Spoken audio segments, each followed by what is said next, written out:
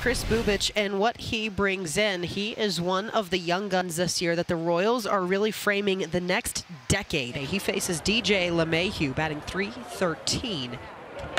LeMahieu gives this one a ride into right field. Edward Olivares is back at the track. To play it on a hop off the wall. LeMahieu digs in for second with a slide. Nobody is near him.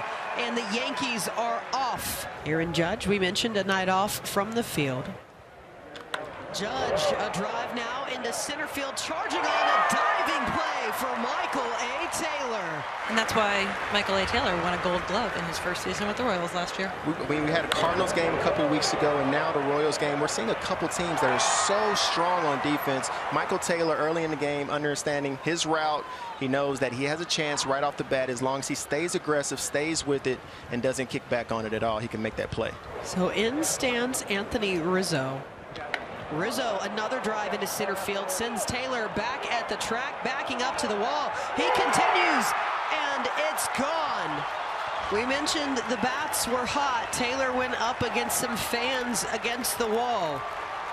But Anthony Rizzo, again, a three-run home run game already this week. He finds his first long ball here in the first inning and it's a 2-0 Yankees lead. Right here, you, you see that ball, he gets it good, maybe slightly off the end, just enough. Giancarlo Stanton, as he swats a ball out to left, and you can forget about it. Stantonian blast for Giancarlo, and it is quickly a three-run ball game here for the Yanks. Now, this can get uncomfortable really quick around here. We were talking about it before the game. When these guys are hot, they're the most most dangerous offense in baseball. Yeah, they have their cold streaks from time to time. But talking to Booney before the game, they're a little more balanced. A few more left-handed bats in there. Hopefully they can slow down those rough patches quite a bit. But when these guys are on fire, he you can't miss right there on Stanton. Miss right there, he doesn't even have to get it good. If he puts the barrel on the ball at the right launch angle, it's out of there every single time.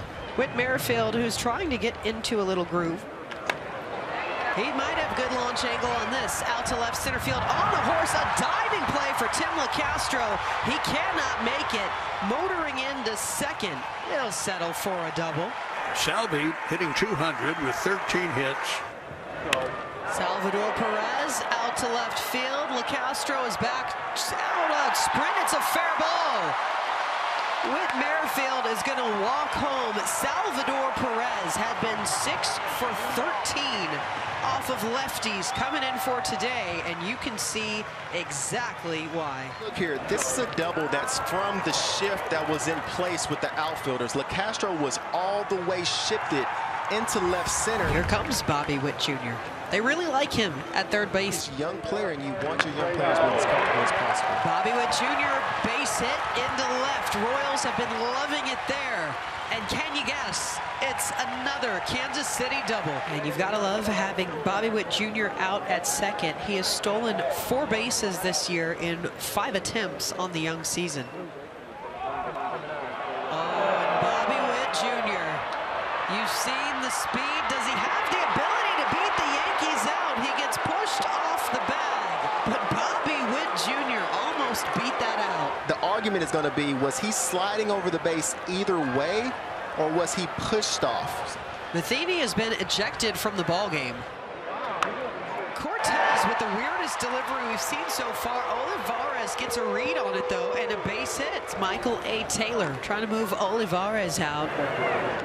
Michael A. Taylor straightens this one out. Down for a base hit. Already charging around third comes Olivares. An RBI single brings the Royals within a run. It seems like they came into the game with a plan.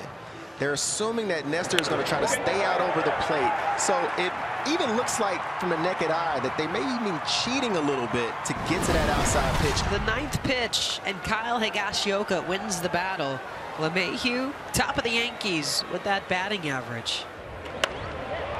Ripped off the glove of Lopez, and flying in comes Isiah Kiner Falefa. Yankees extend the lead in their first run since the beginning of this ball game. Aaron Judge, a rare 0 for 3 night.